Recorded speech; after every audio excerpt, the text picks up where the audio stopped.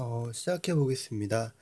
오늘은 진딧물이 이제 개인 화분에 이렇게 화분 같은데 생겨서 이제 그거를 이제 처치하는 방법을 해볼 건데 일단은 어, 목초액이 있어요. 목초액은 이거는 어, 4,000원 주고 인터넷에 샀는데 인터넷 검색해보면 목초액이 파니까 어, 거기서 사면 되고 일단 뭐 이거는 블로그에 올려놨고 그 다음에 이거는 김통이에요. 그러니까 꼭 김통이 아니라도 그러니까 김 김솥이 아니라도 상관없어요. 그러니까 이런 그냥 솔이면 되고 이런 어, 통이 있으면 좋아요. 그래서 이제 여기다가 이렇게 넣어서 쓰면 되는 거죠. 그리고 이거는 이제 진딧물이 이제 폈다고 가정을 해서 이제 얘를 갖고 왔는데 얘는 지금 진딧물이 피는 그런 애는 아닌데 일단 어, 이렇게 어떻게 하는지 이제 대충 시험을 할, 이렇게 보여주려고 하는 거니까 뭐 상관없고 일단은 그 김말이 김말이 할 때 이제 어, 김할 때 그런 소, 소리죠. 이게 장점이 뭐냐면 소리 있고 그 다음에 뚜껑을 덮을 수 있고 그 다음에 이 통이 투명하고 이걸 넣을 수 있다는 게 편한 거예요. 그래서 그냥 이걸 선택했는데 꼭 굳이 이거 아니라도 어, 상관없어요. 근데 그냥 저는 이렇게 이거를 이렇게 화분에다가 화분 근처에다가 이렇게 어, 아이들이 없는 곳에 이렇게 놓을 거고 이렇게 그냥 필요할 때 이렇게 발라주려고 하거든요. 그래서 이렇게 간단하게 선택했는데 뭐 취향에 따라서 자기가 선택하면 되는 거고 소리 어, 지금 이걸 따볼 건데 이렇게 돌려서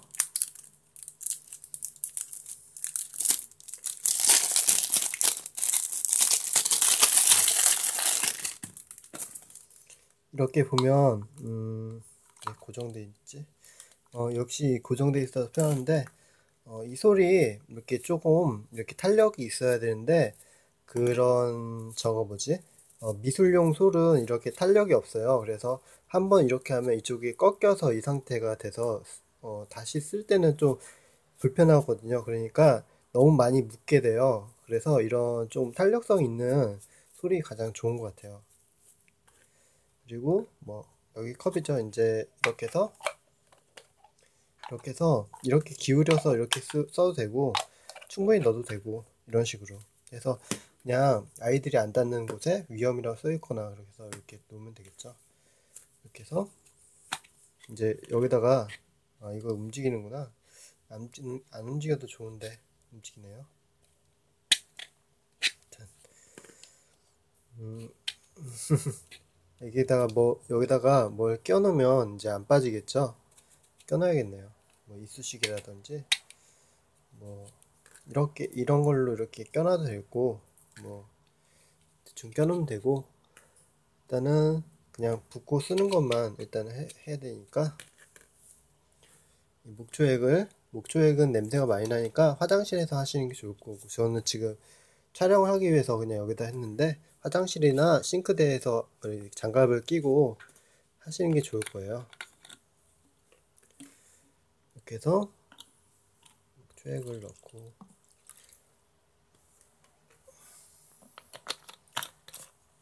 전 목조액을 파는 사람은 아닌데 어, 그냥 뭐랄까 목조액이라는 게 있고 그냥 그래서 어, 진딧물 같은 거 깍지벌레 없애고 그러니까 그것 때문에 한 거죠.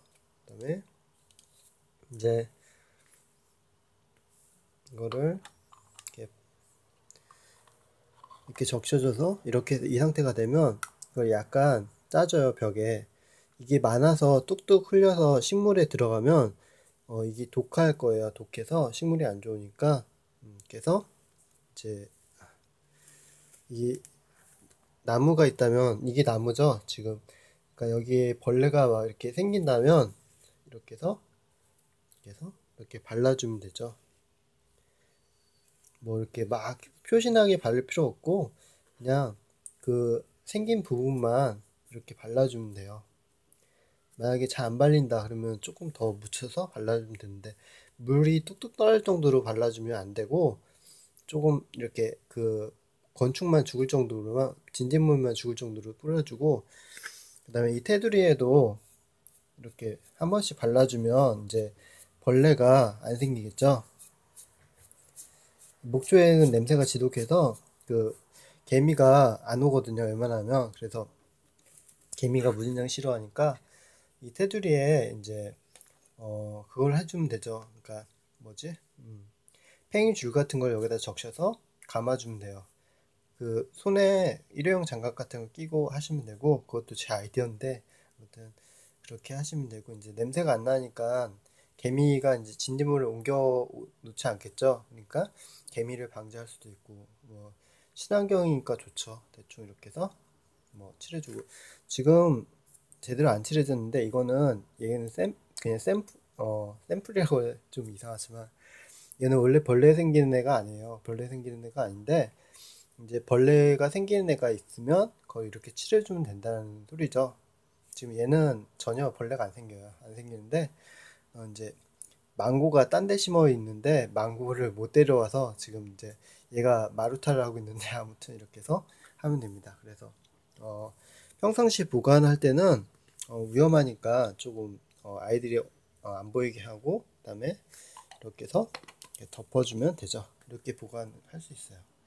이렇게 깔끔하게 보관할 수 있기 때문에 뭐 편하죠. 그리고 다시 쓸 때는 이렇게 해서 쓰면 되고 뭐 얼마나 편해요.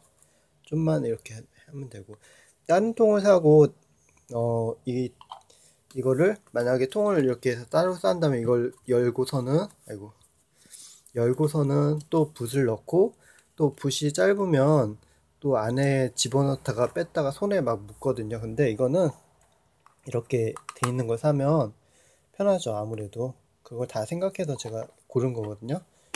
아무튼 그렇습니다. 그래서 끝 별거 없네요.